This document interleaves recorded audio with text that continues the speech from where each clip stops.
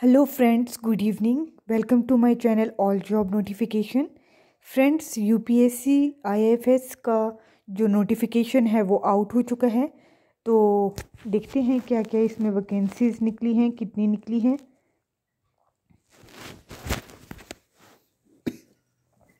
यह है Indian forest service recruitment ठीक है? वन टोटल जो वैकेंसी है इसमें वो वन फिफ्टी वन है, ठीक है? वन फिफ्टी वन है।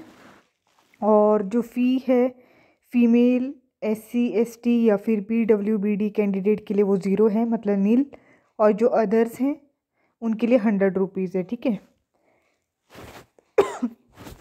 आज सॉरी दो फेबररी को आ, इसका जो अप्लाई डेट स्टार्ट हो चुका है ठीक है? और लास्ट डेट इसका ट्वेंटी सेकेंड ऑफ़ फेबररी है।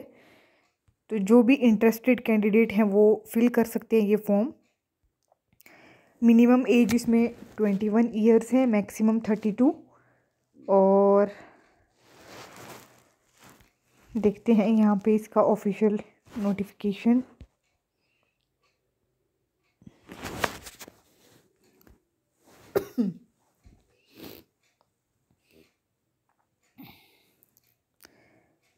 हाँ तो फ्रेंड्स, ये इसमें देखते हैं क्या क्या इसमें एजुकेशन क्वालिफिकेशन मांगा है। All candidate are required to carefully read the rule of Indian foreign forest service examination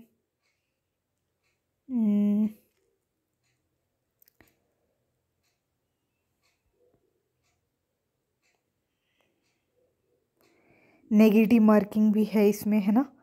Candidate should note that there will be negative marking for wrong answers and for both writing and marking answer in the OMR sheet must use black ball pen use करना है आपको only ठीक है तो blue ball pen लेके नहीं आपको black ball pen चाहिए ब्लैक बॉल पेन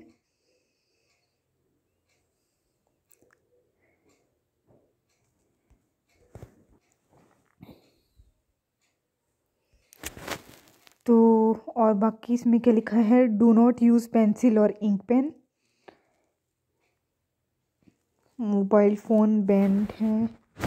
ये देखो सेंटर कहाँ कहाँ पे है इस पर अगरतला, आगरा, अजमेर, अहमदाबाद, चंडीगढ़, बिलासपुर, शिमला। ठीक है एचपी वालों के लिए शिमला ये सेंटर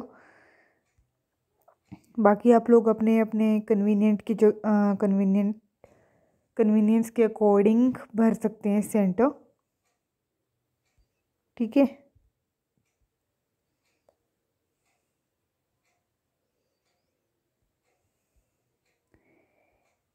एलिजिबिलिटी देखते हैं क्या क्या लिखा हुआ इसमें। एज लिमिट का तो हमें पता लग गया।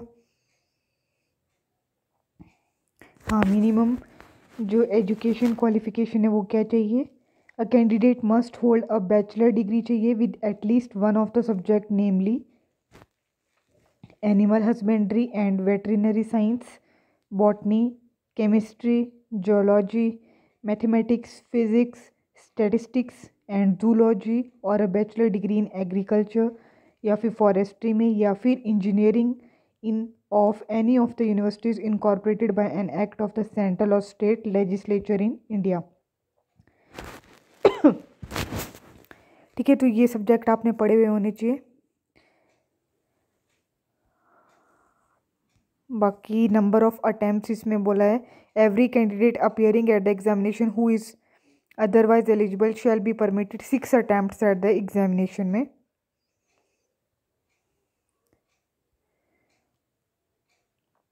मेडिकल और physical candidate must be physically fit होना चाहिए अकॉर्डिंग टू फ़िज़िकल स्टैंडर्ड ठीक है?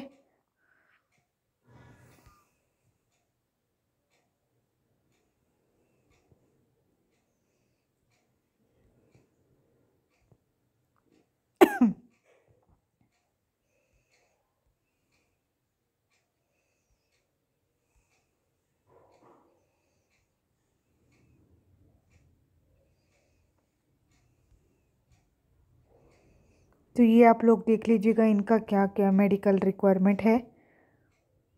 ठीक है, ये ऑप्शनल सब्जेक्ट्स हैं जो एग्रीकल्चर फिर एग्रीकल्चर इंजीनियरिंग के लिए animal husbandry botany chemistry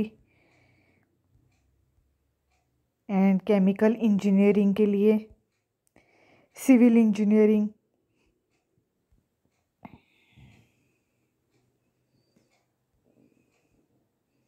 और फॉरेस्ट्री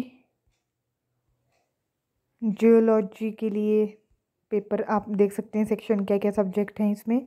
Mechanical engineering zoology